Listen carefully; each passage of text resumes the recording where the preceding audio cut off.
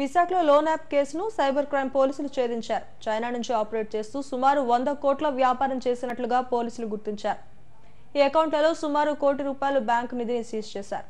ఓ వ్యక్తిని అరెస్టు చేసి అతను ఈ యాప్ ద్వారా కోటి పదిహేను లక్షలు కమిషన్ తీసుకున్నట్లుగా సిపి శ్రీకాంత్ తెలిపారు. కమిషనరేట్లో ఈ కేసుకు సంబంధించిన వివరాలను మీడియాకు వెల్లడించారు.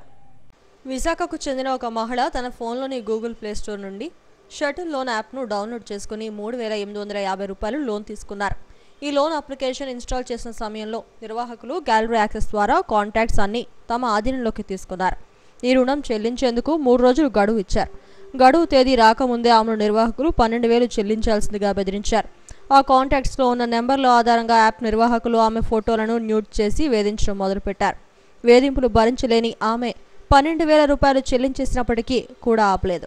అంతేకాకుండా వాట్సాప్ మెసేజ్ల ద్వారా ఆమెను బెదిరించడం మొదలుపెట్టారు. దీంతో ఆమె సైబర్ క్రైమ్ పోలీసులను ఆశ్రయించింది. ఫిర్యాదు మేరకు నార్త్ ఇండియాలోని తమిళనాడులో లొకేషన్ గుర్తించామని సిపి శ్రీకాంత్ వివరించారు. హైదరాబాద్ మాదాపూర్కు చెందిన రాజు జయసింహారెడ్డి అనే వ్యక్తి అక్కడి కెనరా బ్యాంక్లో అకౌంట్ ఓపెన్ చేసి వాటన్నిటిని చైనాలోని రుణ యాప్ నిర్వాహకులకు అందజేస్తున్నట్లు గుర్తించామన్నారు. ఈ ఖాతా ద్వారా చైనా రుణ యాప్ వ్యాపారులు వంద కోట్ల బిజినెస్ చేసినట్లు చెప్పారు. చైనా యాప్లకు ఖాతాలు అందించిన జయసింహారెడ్డికి కోటి రూపాయల వరకు కమిషన్ ముట్టిందని ఆయన వెల్లడించారు. వంద కోట్ల రూపాయల క్రిప్టో కరెన్సీ ద్వారా చైనాకు చెందిన వారి అకౌంట్లలో జమ అయిందన్నారు. అయితే జయసింహారెడ్డికి ఉన్న కోటి పదిహేను లక్షల అకౌంట్స్తో పాటు కోటి రూపాయల అకౌంట్ను సీజ్ చేశామని వెల్లడించారు. ఎవరైనా యాప్ రుణ బాధితులు ఉంటే సరైన ఆధారాలతో రావాలని కోరారు.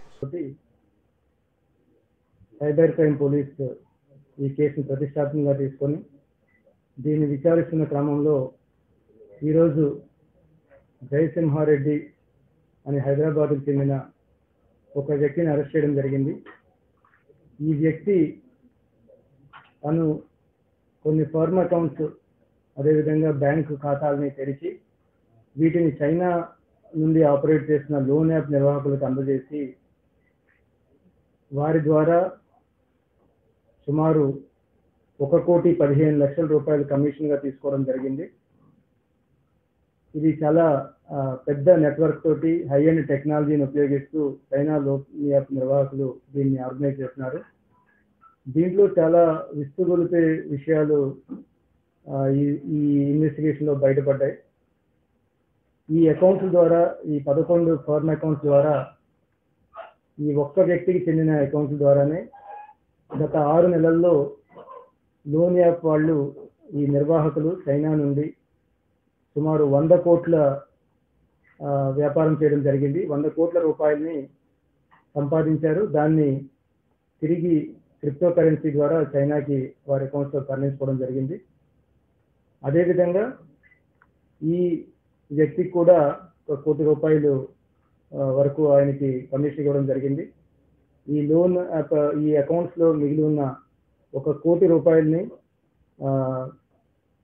సైబర్ క్రైమ్ పోలీస్ వారు రీచ్ చేయడం కూడా జరిగింది. బాధితులు ఎవరైనా ముందుకు వస్తే వారికి వారి ఫిర్యాదును పరిశీలించి దాంతో తిరిగి వారికి అమౌంట్ ఇప్పించడానికి ప్రయత్నిస్తాం.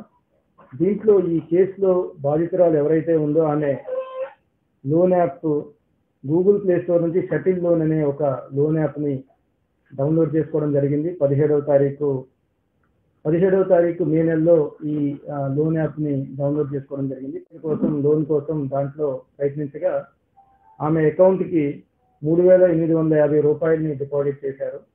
ఆ తర్వాత ఆమె ట్వంటీ ఫోర్త్కి ట్వంటీ ఫోర్త్ అయితే ఆమె పన్నెండు వేల రూపాయలని తిరిగి పే చేసింది. డిఫరెంట్ ఒక ఐదు వేలు ఒకసారి ఏడు వేలు ఒకసారి పే చేసినప్పటికీ కూడా నిర్వాహకులు ఆ లోన్ యాప్ నిర్వాహకులు ఆమెని థ్రెటనింగ్ మెసేజ్ తోటి అదేవిధంగా అశ్లీలంగా మాట్లాడడం అసభ్యకరంగా మాట్లాడడం ఆమె ఫొటోస్ మార్చేయడం తోటి మరింతగా ఆమెని వేధించడం మొదలుపెట్టారు. ఆ వేధింపులతోటి ఆమె ట్వంటీ ఫోర్త్ మెయిన్ మనకి రిపోర్ట్ చేయడం జరిగింది.